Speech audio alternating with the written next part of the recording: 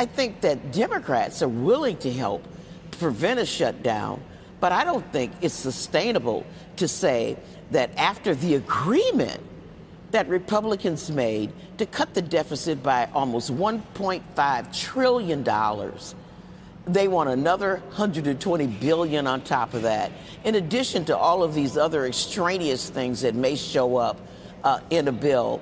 You know, we got to impeach Joe Biden. We got to put abortion riders in. Uh, uh, we can't provide funding for Ukraine. And I do think, you know, the deficit is a concern, but I just want the Representative Schweikert to be very, very transparent.